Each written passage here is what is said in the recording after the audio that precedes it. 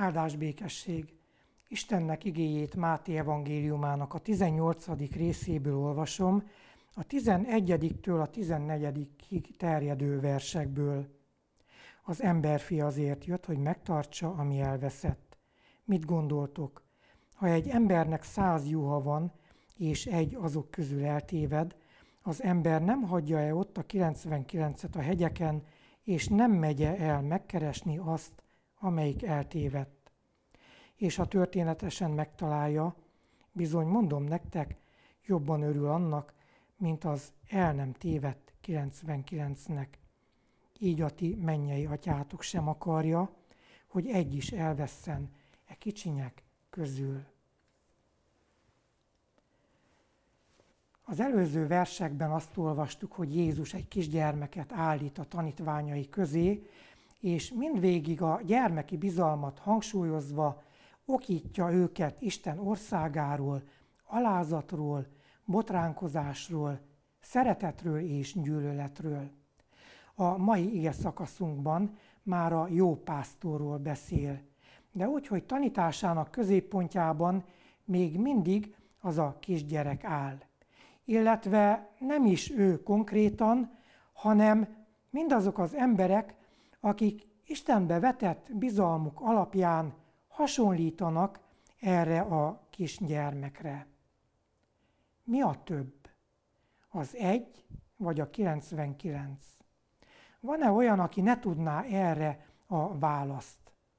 Nyilván a 99 több, sokkal több, majdnem százszor annyi. Ha százból elveszítek egyet, az még nem olyan nagy veszteség. Ha a Jézus történetében szereplő ember történetesen házat épít és építő anyagot szállít haza, téglákat, és útközben valahol a hegyekben elveszít egy téglát a száz közül, és csak otthon veszi észre, én nem hiszem, hogy visszamegy megkeresni hogy fáradtan, vaksötétben, órákon keresztül keresi majd azt az egy elveszett téglát. Lehet, hogy meg sem találná. Lehet, hogy beesett egy bukor alá, vagy megtalálta valaki, és hazavitte. Nem örül a veszteségnek, de nem is bánkódik miatta nagyon. Csak hogy a Jézus történetében nem egy tégla veszett el, hanem egy bárány egy élőlény, akinek a születésénél ott bábáskodott a pásztor.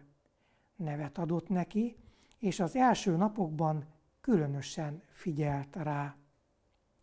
Lehet, hogy egy-két napig az ölében is vitte, amíg megerősödött egy kicsit. Ezért az egy bárányért bizony visszamegy a hegyekbe, ha kell, egész éjszaka keresi, és ha megtalálja, akkor nagyon boldog lesz. De mi lesz addig a többivel? A 99-szel, akit hazaterelt. Én értük, nem nagyon aggódom, biztos vagyok benne, hogy a pásztor gondoskodott róluk is. Azt mondja Jézus, Eképpen a ti mennyei atyátok sem akarja, hogy egy is elvesszen e kicsinyek közül. Ez a kicsinyek kifejezés, amit itt olvasunk, az eredeti nyelvben görögül így hangzik mikron.